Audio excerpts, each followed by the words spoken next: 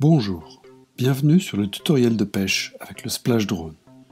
Dans cette vidéo, nous allons vous montrer comment l'on peut pêcher avec le Splash Drone 3 et le mécanisme de largage PL3. Avant de partir à la pêche, assurez-vous d'avoir consulté les tutoriels de vol du Splash Drone 3. Sur une plage bien dégagée, préparez votre canne à pêche, mettez la radiocommande en marche, puis l'aéronef. Faites un nœud coulant sur votre ligne. Ouvrez le mécanisme de largage sur la radiocommande en basculant l'interrupteur à gauche en position airdrop.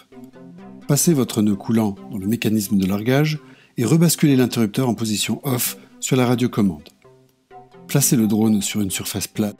Assurez-vous que le moulinet puisse se dérouler et laissez une longueur de ligne suffisante pour qu'elle ne s'accroche pas autour des hélices.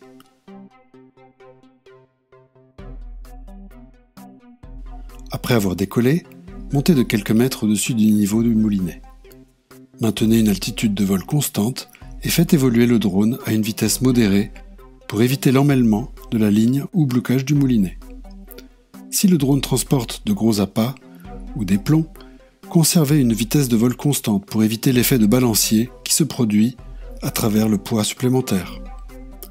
Quand vous emmenez vos appâts vers le lieu de largage, vous pouvez basculer la caméra grâce à la molette droite sur la radiocommande pour évaluer le meilleur endroit de largage. Lorsque le bon moment est arrivé, basculez l'interrupteur de largage sur AirDrop pour relâcher la ligne. Tout en accomplissant cela, vous pouvez prendre des photos ou vidéos de toute la séquence de largage.